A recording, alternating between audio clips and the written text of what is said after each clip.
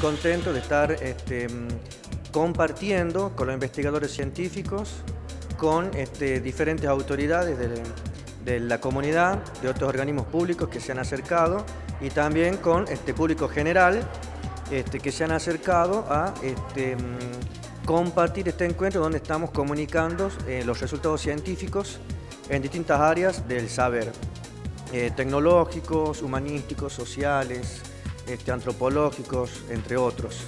El trabajo que presenté hoy está también publicado en la revista digital de la Universidad Ágora em, y se llama este, La mujer em, rural del noroeste argentino, eh, últimos cambios en el, último periodo.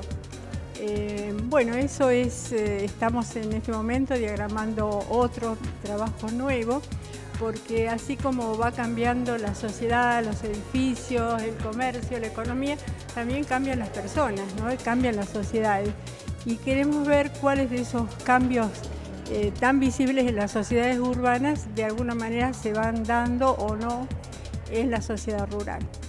En este caso eh, vengo a exponer con mi equipo de investigación un proyecto que se trata de la inserción laboral de los egresados de las carreras que son originarias de la sede chamical, como es Ingeniería en Recursos Renovables para Zonas Áridas, eh, Veterinaria y Tecnicatura en Gestión y Administración Rural.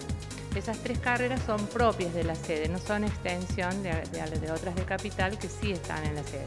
El proyecto se trata de cómo están insertos los... Ahí analizamos variables sociodemográficas, académicas, las trayectorias laborales y vengo a exponer unos avances preliminares del proyecto con una muestra que tomamos en ingeniería y veterinaria.